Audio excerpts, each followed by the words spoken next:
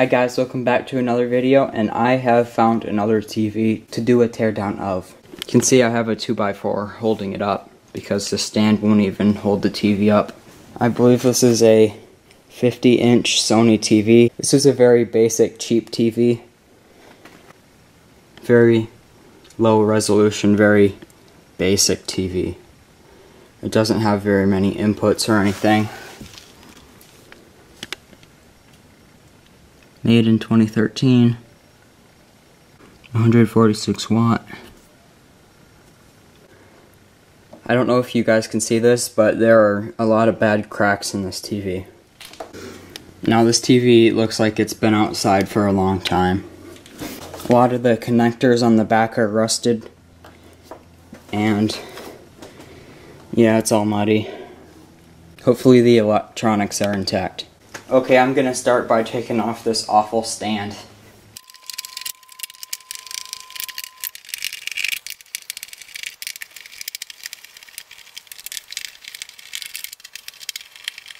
I don't know how they designed this thing to be able to hold up a TV. It's not sturdy at all. With this stand, the TV just wants to tip over. Like, maybe it was meant to be screwed onto a TV stand or something. I don't know how else you would use one of these. Okay, I'm gonna start taking off the screws for the back panel. Okay, I'm just gonna take off this cord.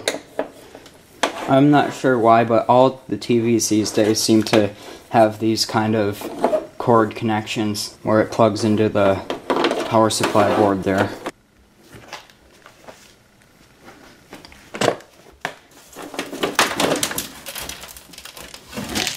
Wow, there's not much there. Okay, here's our power supply. You can see the primary side and the secondary side of the power supply. There's your output from the power supply to the motherboard and the rest of the components. And another power output here that I think goes into the display.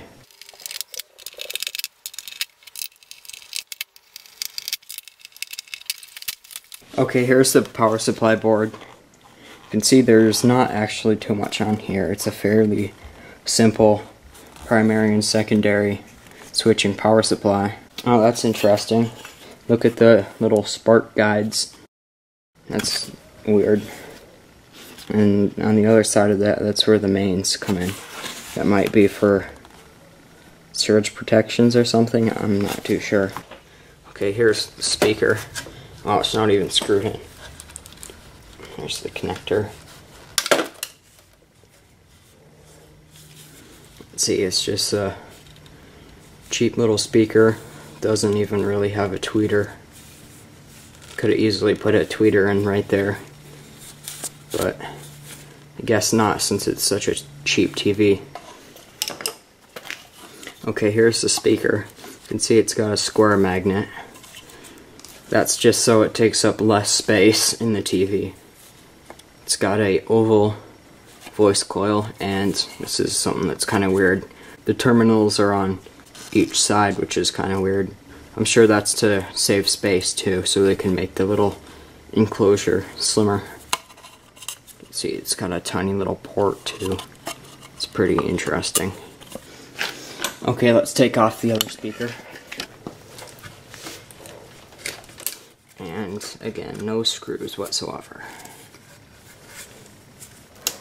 Here's the motherboard here. You can see all the connectors are all rusted and oxidized which is another sign that this TV has been outside for a long time. So here's your input from the power supply. You have all your different supply voltages now here you have your decoded video output. This goes down here to this LCD vertical and horizontal control board. This would take the decoded signal from the image processor somewhere on this board and it would continue to decode the data and route it through these two cables to the display. You can see these are the only two little cables that go to the display. And an HD TV would have a whole lot more connectors going to the display. Okay, let's take off this motherboard. This is kind of where There's like a micro USB connector here. It must be some kind of USB interface or something.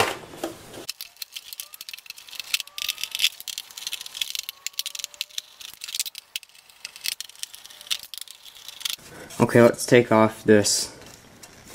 I think this is ceramic actually. Yeah, that's ceramic. Ceramic heatsink, how about that? Never seen a heatsink made out of ceramic before.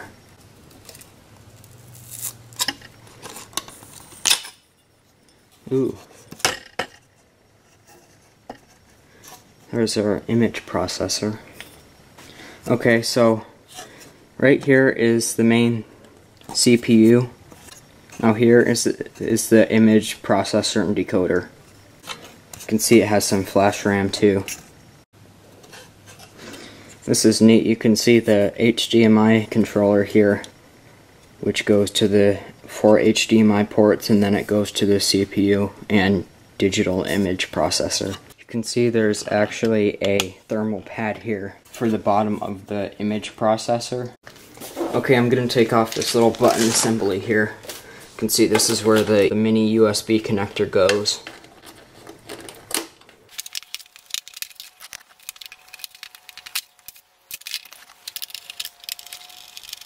Here's the little button module. You can see there's two USB connectors here. That's probably what connects to this micro USB which connected to the motherboard Okay, let's take a look down here at this vertical and horizontal control board.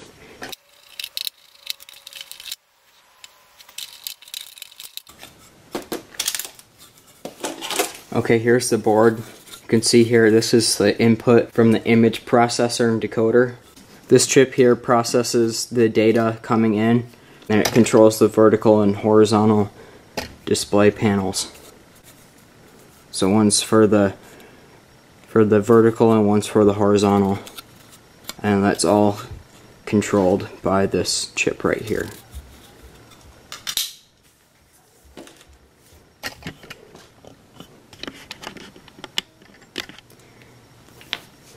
Okay, you can see here, these are the two mounting brackets for the TV stand. They're not that heavy duty because it's not that heavy of a TV. Okay, let's take off this remote control receiver thing.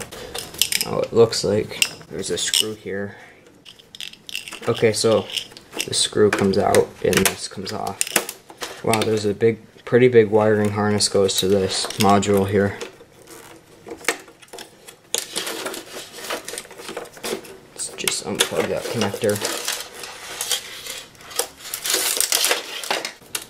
This must be something more than just the remote control receiver. There's got to be more in here with a wiring harness that big.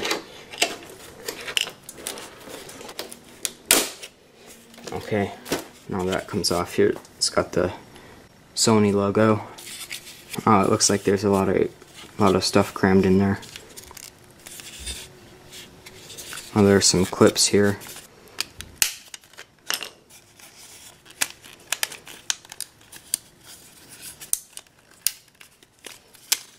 Now this comes out.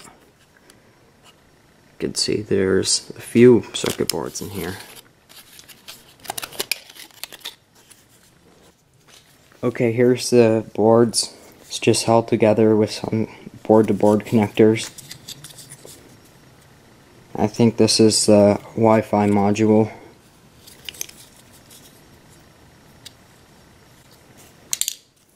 And then over here is another module. I'm not sure what it is. It might be like another wireless feature, it might even be like a Bluetooth or something. Then here's the little board that those board-to-board -board connectors connect to. Then there's another small circuit board in here.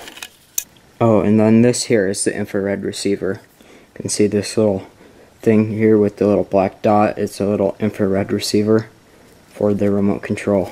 Now it looks like this whole bottom metal piece comes off, so I'm gonna try and take that off. Okay, so I've unscrewed this bracket here. You can see there is the vertical board here. Now there's another one just like it over here too. Now, this is all for the vertical control. I don't know how the horizontal control would work because I thought one of these went to the horizontal and one of these went to the vertical, but both of them go to the vertical control.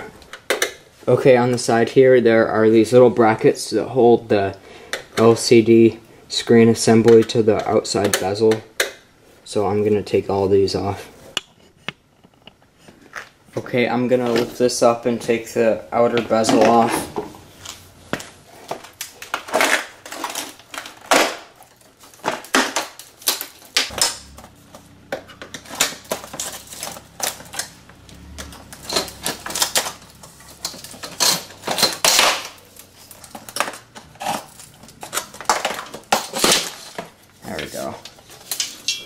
Okay, here's the big aluminum outer bezel. And this just kind of was holding the whole screen together so all the layers are starting to come apart.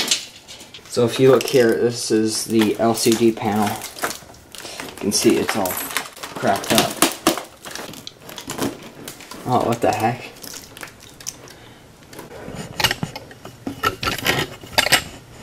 Okay, I think this has a backlight in it. So let's take a look at the backlight in here.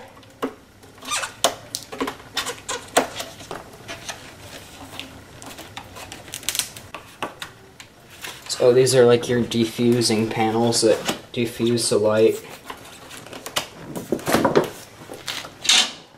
Okay, it looks like this bezel here is on top of the backlight. So I'm gonna go around and try and pop it off.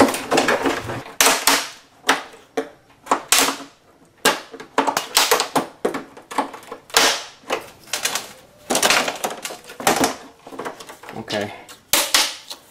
This is coming off now.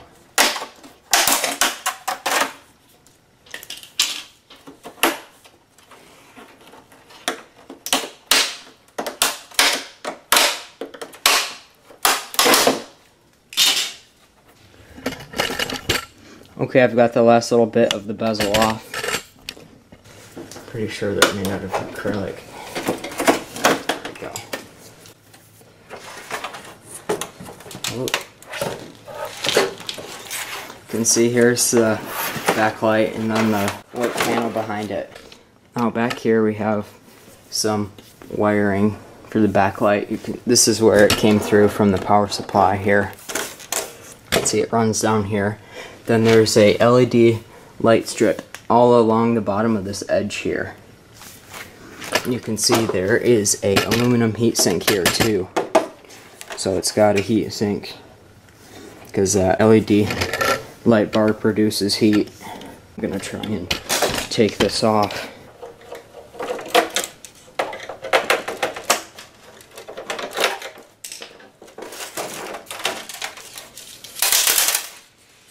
Okay, here's the heat sink with the LED light strips in it.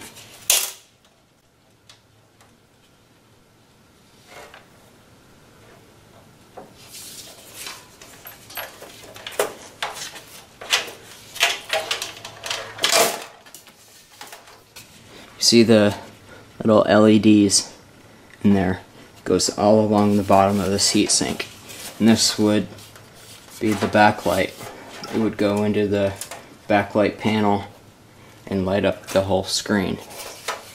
Okay so that's about it for this cheap Sony TV it was very interesting taking it apart. I've seen some things that I've never seen before inside of a TV if you want to see a more detailed and in-depth teardown, check out my Plasma TV video teardown. I go into great detail about how that TV works and I explain everything very thoroughly. So check that video out please.